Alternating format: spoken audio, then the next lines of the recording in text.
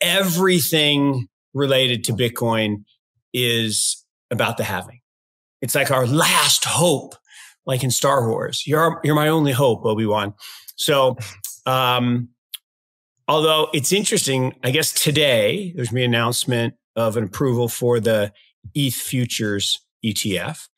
Mm-hmm. You talk about that, um, and then and they punted on all of the Bitcoin uh, spot ETFs.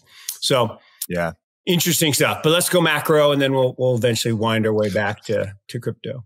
Martinez identified the $43,200 area as a crucial support level, which can potentially determine the fate of Bitcoin's price. The premier cryptocurrency broke above this price zone on Wednesday, December 20, and has been trading mostly sideways since. In his post, Martinez highlighted that so long as the vital $43,200 support holds, the momentum is with the Bitcoin bulls. According to the crypto analysts, staying above this support is one catalyst that could push the Bitcoin price to above $47,360. On the flip side of his analysis, he noted that the Bitcoin price could possibly undergo a correction. The crypto pundit emphasized that one of the bearish signals to watch out for is a sustained close below the crucial 43,200 mark.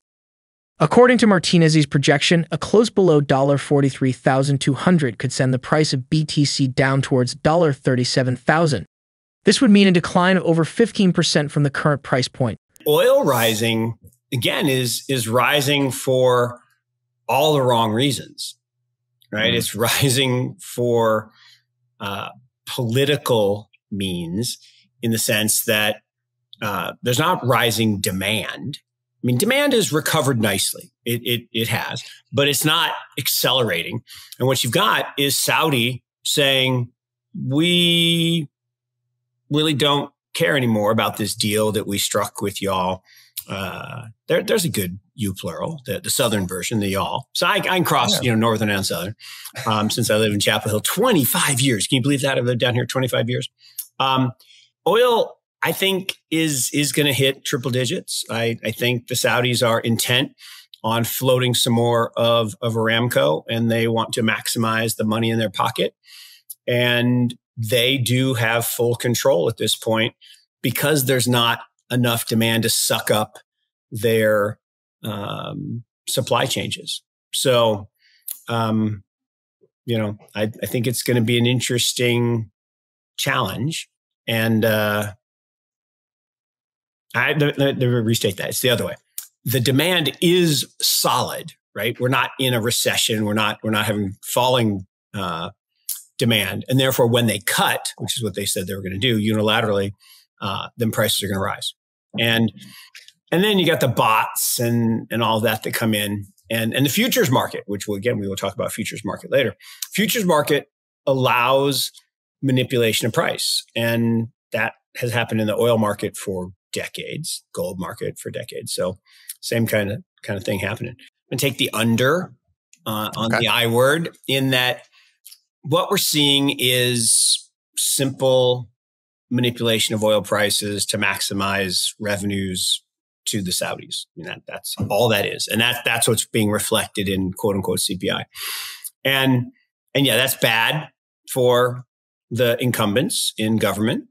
Um, super bad for the president, right? I mean, there's a perfect X. I mean, a perfect inverse correlation between gas prices at the pump and presidential popularity. I mean, it's absolutely flawless connection.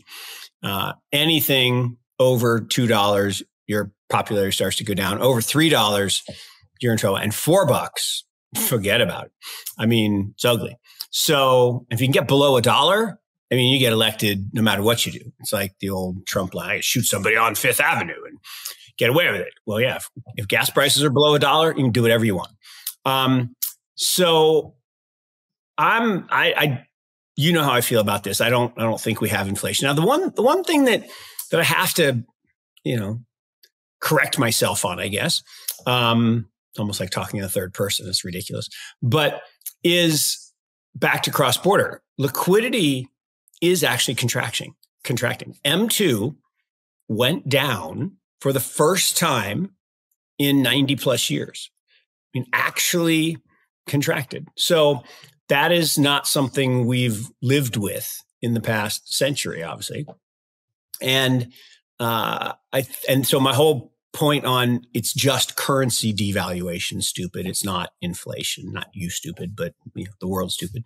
Um, I, I, still believe that, right? I still believe what we're seeing is is the leftover effects from the idiotic, you know, modern monetary theory pump of money supply post lockdowns, and I think I think that that that's what the oil dynamic is.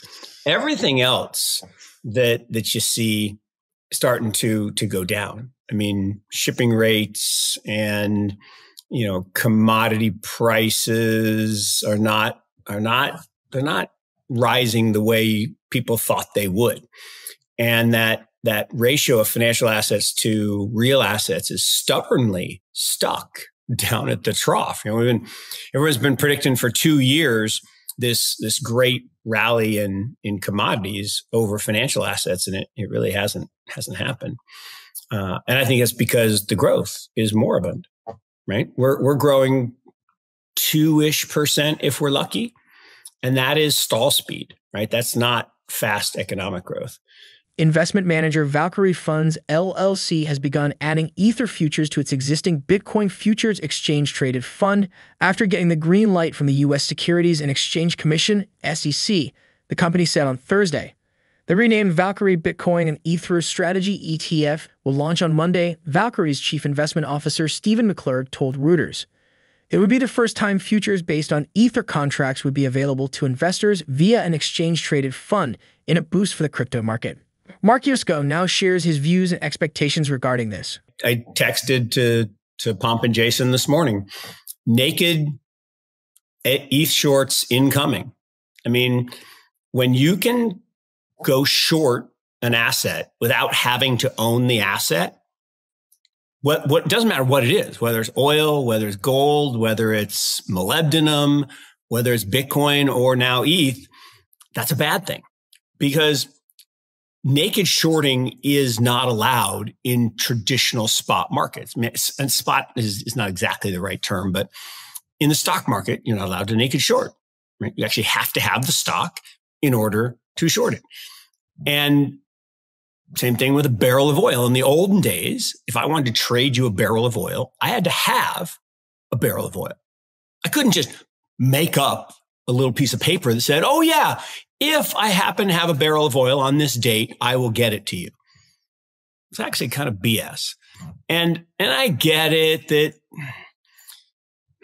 financialization has some positives, but paper futures markets have a long history of enabling manipulation and uh, they make a lot of money for the people producing the paper and destroy a lot of people on, on the other side. So maybe, maybe I'm not as big a fan of, of futures markets as, as other people, but what, what is going to happen is large institutions now can short Ethereum the same way they shorted Bitcoin November 21, right? Almost to the day, almost to the day of the peak.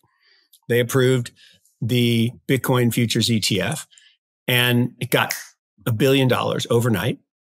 And everybody's like, oh, that's so great. I'm like, well, think about it. For every buyer, there's a seller. And guess what? There can even be more bigger sellers on the other side pushing that incremental trade the wrong direction.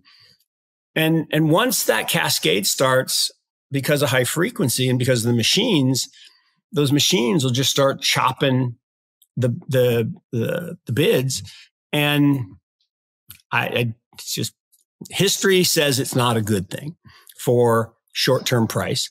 History says it's not a good thing for free and open markets uh, because it allows people with large balance sheets to manipulate. And I use the term manipulate intentionally because They've paid massive fines. They, meaning these large institutions, have paid massive fines, like hundreds of billions of dollars without admitting guilt. I always loved that part. How the hell do you pay a billion dollar fine, but you get to say, but I'm, but I'm not guilty. Just the, the fact that you paid a billion dollars says that you're guilty, right? I mean, otherwise you, you wouldn't pay. And so that's just, it, it's kind of like lobbying.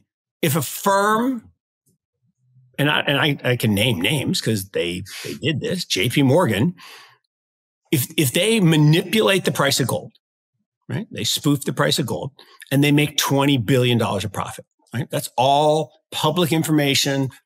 That's wrong, right? That's illegal. But then they pay a billion and they're okay.